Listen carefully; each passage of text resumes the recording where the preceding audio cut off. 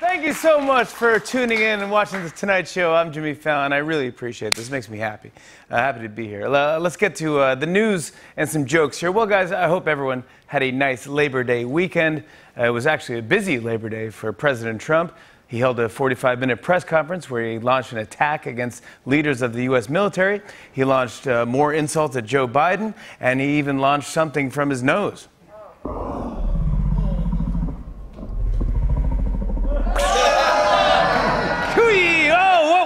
That? Ew. Ew. People are wondering, man, was that the booger? Was it drugs? I'd like to think he was uh, eating crackers by sticking them up his nose. Uh, hey, you know what could have stopped that projectile? A mask. Even worse, uh, whatever flew out of his nose hit that U.S. Open line judge in the throat. And that's. you don't like to see that. Well, everyone is still talking about the Atlantic's report that Trump called fallen service members losers and suckers. And yesterday, when Trump was asked about it, he once again denied ever saying it. Listen to his response. Who would say a thing like that? Only an animal would say a thing like that. Yeah. I bet if an animal did say that, it would probably be this one. But I don't, again, I don't know. Look, look, other than the 245 times Trump has actually called someone a loser and a sucker on Twitter, he'd never say anything like that. That's right, Trump allegedly made outrageously offensive remarks, so you know what that means. Nothing happens to Trump, and Billy Bush gets fired. I'm not sure what's more upsetting the comments Trump reportedly made or what he's going to do to change the subject. And that's why we're nuking the moon. that was a pretty crazy press conference. At one point, Trump went off on a rant attacking military leaders. Because when you're in a scandal about calling soldiers names, the best defense is to antagonize their bosses. Trump was like, and this goes all the way to the top, people. Whoever is the chief of all the commanders. If that wasn't enough, at that same press conference, Trump told a reporter to take off his mask. Take, watch this. The issue of what happened when you were in France continues to be a story. You're going to have to take that off, please. Just, you can take I'll, it off. You're, you're, how, how many feet are you away? I'll speak a lot louder. Well, if you don't take it off, you're very muffled. So if you would take it off, it would be a lot easier. I'll, I'll just speak a lot louder. Is that better? It's better, yeah. what is Trump doing? He's the president of the United States, not Velma at the end of an episode of Scooby Doo. Meanwhile, it looks like all the scandals that have plagued Trump's presidency are starting to catch up with him. Check it out. The president is disputing a report in the New York Times that his campaign has squandered its fundraising advantage. They burned through $800 million of the 1.1 billion they raised since 2019, some of what are described as vanity splurges. Yeah, you can tell he's strapped for cash because now all his speeches have product placements. We repeal Obamacare and replace it with delicious, nutritious boarhead. Boar's head cold cuts. I don't know what I'm holding there, like a jar of cold cuts? A ham. A ham. Ah, that's good. Give up the ham. Uh, Trump's campaign has already spent $800 million and he's still losing by almost 10 points. So far, it's the worst money spent since you bought Skechers Shape Ups. I'm working out. I'm going to the bar. I'm feeling good, man. I, I gained a few, but maybe it's muscle. Seriously, they blew through $800 million in a few months. Who's running his campaign? Trump in the 80s?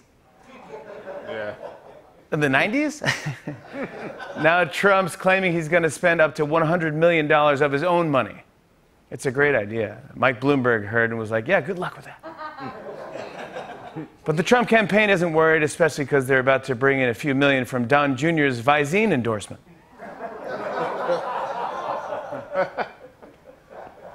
the campaign also just spent $156,000 on planes that pull banners. So their advertising strategy is basically the same as the clam shack down at Jersey Shore. You can tell Trump's campaign is running out of money because this weekend they sunk a bunch of boats for the insurance money. oh my goodness. But this morning, Trump denied the report and sent a tweet saying that they have lots of money.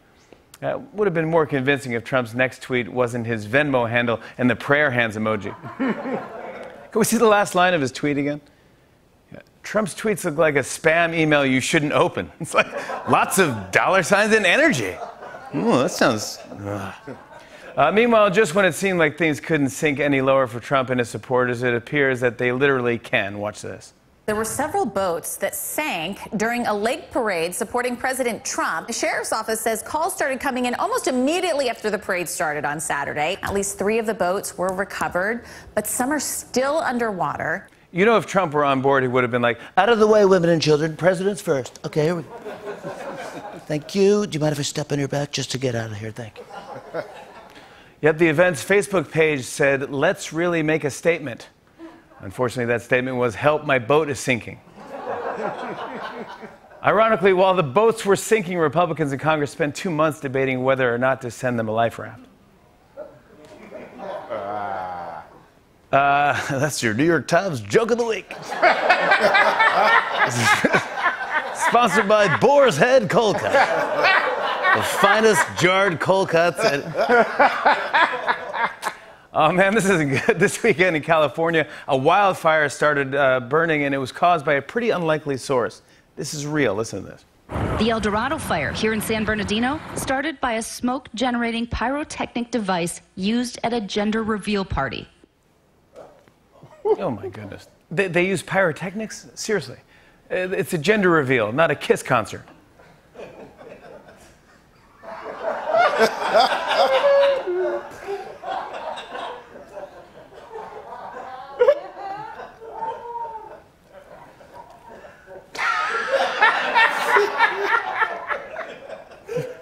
Are you serious?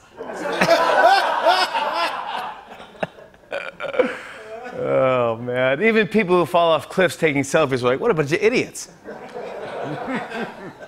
yeah, it turns out the couple is expecting six months in jail and thousands of legal fees. And finally, listen to this. The founder of Jelly Belly announced that he is going to give away a Florida candy factory as part of a nationwide treasure hunt. It's great until you find out it's the factory that makes all the buttered popcorn flavored jelly beans. We have a great show for you tonight. Uh, The very funny Joel McHale is here. His latest album, Detroit 2, is number one on iTunes. We'll be talking to him, and then he'll be performing his latest single, Harder Than My Demons. Big Sean is here. Love Big Sean. We're back after two weeks. Did you guys have a good break? Uh, yeah, yeah, yeah. You didn't enjoy yourself? I mean, it was okay. Yeah? With just a lot of just things happening? Yeah, you know, just chilling. Hmm. Hanging out around the crib, you know.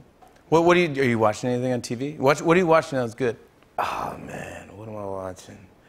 Uh, you know, I've been watching this thing uh, called Love Swindler.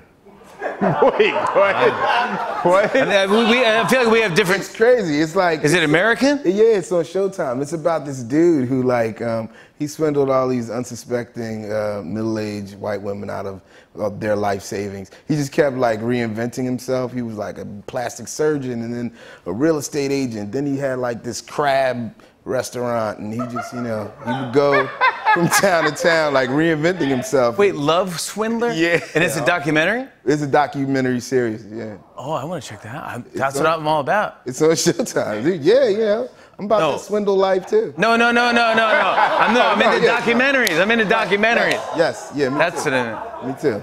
Yeah. I'm watching. Uh, I'm watching The Vow. You watching that? Oh yeah, yeah, Dude, it's on HBO Max. Yeah. I have like 10 HBOs now. I know, right? I had to sign up for a whole new thing. it's crazy. HBO Max. A whole you new You can jam. never find like you know if you don't watch something in its entirety, you can never get back to the platform that you were watching it on. It's like, wait, where did this thing? Yeah, go? where did I find that? Yeah. Well, this I found. I read about it and then I found it and then I signed up and now I'm on that. But this thing isn't a whole jam. You only get two. uh, It's only up to like two or three. Yeah, yeah. It's you know a little bit at a time. I've been watching that too. The Vow. It's fantastic. You see Yeah. it, Quest? I've not seen it. No. Dude, it is is nuts. Real deal, real deal craziness. It's wild. I watched that. I watched Class Action Park on HBO Max again. I feel like a Boar's Head. They're was on sponsoring show, NBC. get which, yeah, re- yeah. But no, uh, uh, uh, Class Action Park. Have you seen that? no, I, I, I'm Have you seen that, you guys? It's a real thing. Anyone here seen that?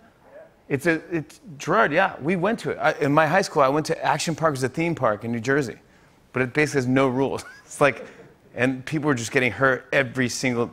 There was like alpine slide where you would just, it was a plastic thing you sat on, and it had a control stick that would like have brake or fast, and it was always broken. So it doesn't matter. You just zoom by, and if you try to stop, you'd scrape up your elbows and. Like, oh, it's crazy, and they had in- crazy. And that's New the York? fun of the game. Like that's No, not supposed to be. It's oh. supposed to be supposed to be fun. The theme park. There's no rules. You, that was my first time I and last time I bungee jumped, and and it, you cliff diving. You would jump off this cliff, and and I, I, I you jump off of like an 18 foot cliff into a pool, swimming pool, and then people would just jump on you because there's no rules. That's crazy. No, it's really crazy. So they it was called Action Park. I loved it. I think I did. I don't even remember. It's probably terrible. But It, it sounds pretty terrible. It sounds like Action Park was about that swindle life. Might be on the episode, man. You never know. I got to check it out. Uh, but we're here. We're back in the building. I'm psyched to see everybody here and uh, everyone uh, for doing this. Uh, and very, very cool. Upstairs, late night with Seth Meyers is back in the studio at 30 Rock. Welcome, guys. Welcome back.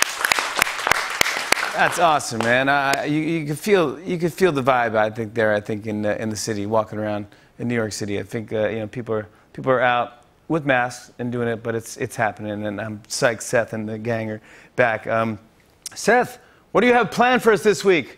Hey, Jimmy, it's so great to be back in the building with you again. Tonight we have Jane Fonda and our mutual friend from SNL, Jorma Taccone. And later in the week, John Cleese and Sheryl Crow. And then Thursday, Michael Cohen is going to tell us about his new book and all new Closer Looks all week. Hey, and I'm sorry I can't come down and visit, but your kids, cute as they may be, they look like super spreaders to me. Also, I am going to send down some sushi that I saved for you from before we left the building in March because I know you love sushi. It was salmon, but now it looks like eel. Anyway, enjoy, bud.